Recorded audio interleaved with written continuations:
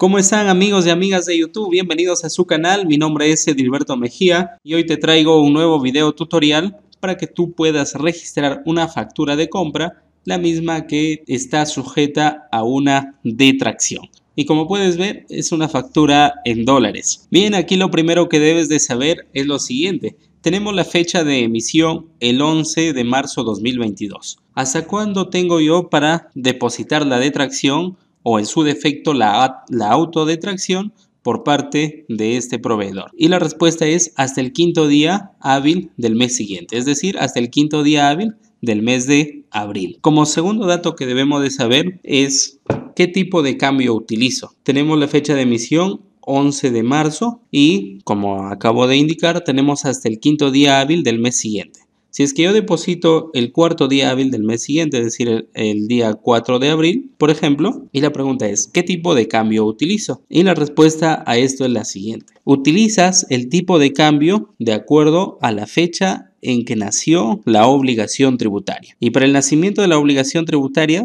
tienes dos aspectos. Uno, es la fecha de emisión del comprobante o la entrega del bien o servicio, lo que ocurra primero. Y también hay otro aspecto, está relacionado con el depósito en sí de esta transacción o de esta operación. Si ocurre primero el depósito, entonces tienes que utilizar el tipo de cambio de esa fecha que se realizó el depósito o en todo caso utilizas el tipo de cambio de acuerdo al nacimiento de la obligación tributaria porque todo depósito de detracción siempre se realiza en moneda nacional. Ahora, ya tenemos aquí nuestra factura, vamos aquí al CONCAR, nos vamos a comprobantes y nos dirigimos aquí a comprobante de compras, elegimos numeración automática, es una factura en dólares, por lo tanto elegimos la cuenta 421202 y para pasar a las siguientes celdas nos ayudamos de la tecla Enter. Fecha del comprobante 11 de marzo de 2022. Damos un Enter y nos desplazamos, ingresamos el código del proveedor, en este caso el número de RUC. Copiamos, pegamos. El documento es una factura con la serie y el número 54 fecha de emisión, la fecha de vencimiento, el IGB lo tenemos aquí, en este caso es 30.75 dólares, el importe total 201.56. Aquí el número de la detracción, recuerden que para poder utilizar una factura que está afecta a detracción, primero debe depositarse la detracción dentro de los plazos que ya les indiqué para recién poder utilizar el crédito fiscal de esta factura. Aquí vamos a ingresar un código de detracción asumiendo que ya se realizó el depósito correspondiente. La fecha vamos a considerar el 3 de abril. Listo. Y aquí nos pide el importe de la detracción. Como estamos en el CONCAR y en el CONCAR estamos registrando un comprobante en dólares, entonces no es necesario hacer la conversión a moneda nacional. Pero sí tenemos que hacerlo para efectos del depósito de la detracción. Entonces aquí dejamos en la misma moneda extranjera. En este caso es 24.19 dólares. Tipo de conversión. Ingresamos el detalle. Registramos nuestro comprobante. Y ahora nos falta la cuenta de gasto. En este caso, una cuenta 60 3 nos ayudamos de Shift F1 para ubicar la cuenta exacta. Aquí está.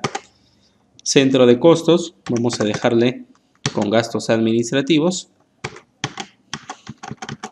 Y con Enter nos desplazamos hasta guardar.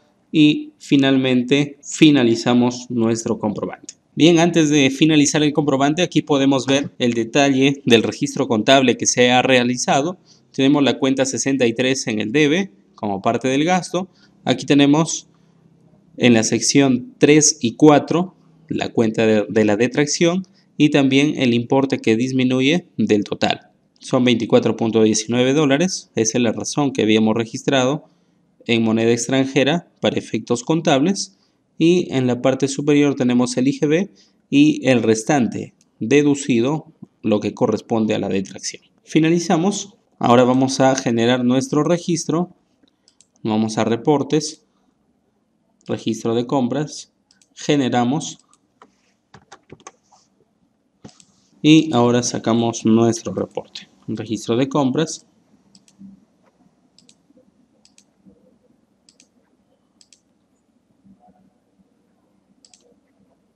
Generamos en un archivo Excel para poder visualizarlo mejor. Aquí está nuestro registro. Nos desplazamos hacia la derecha y aquí en esta columna 32 vemos la fecha de la constancia de depósito de la detracción y el código correspondiente de la detracción. Como te indicaba, son requisitos indispensables para que tú puedas utilizar el crédito fiscal de esta factura, la misma que está sujeta a detracción. Como siempre, tutoriales simples, sencillos, pero de gran ayuda para todos ustedes. No olviden suscribirse al canal, activar la campanita, que pronto estaremos subiendo más contenido para todos ustedes. Hasta pronto.